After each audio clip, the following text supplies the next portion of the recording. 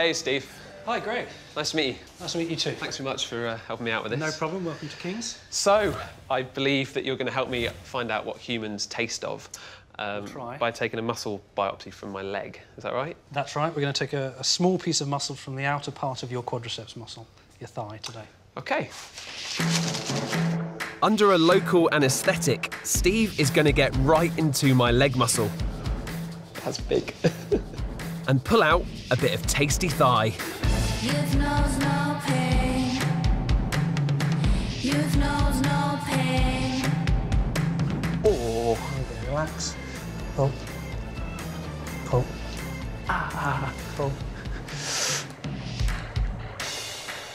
All done. Oh, I felt that. Would you like to have a look at I'd love to have a look. Yes. taken? What we actually can't see, but will be in there, is the connective tissue which wraps around muscle fibres. Is that like when you gnaw on a chicken bone and there's kind of the stringy bits? That's the connective That's, tissue. that's the, the connective tissue. We're actually a lot more like the animals we eat than you'd think.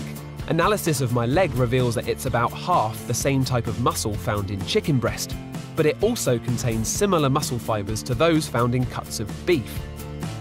To find out what that makes it taste like means travelling to Nottingham.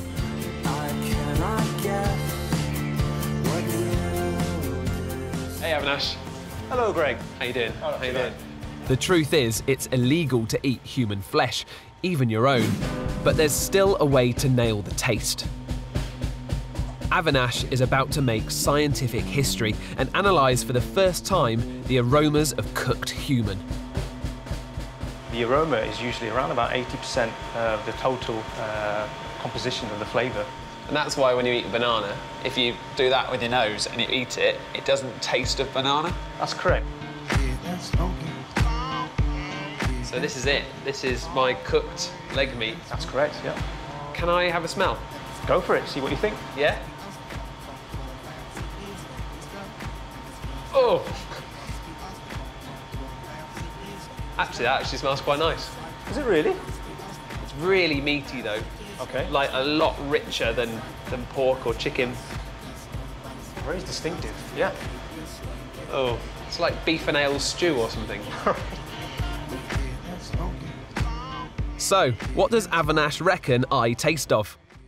Trending towards sort of the red meat side of, and also a bit towards the lamb and the pork. So it's a, it's a combination. kind of feel like I need to taste it now for myself. You're on your own.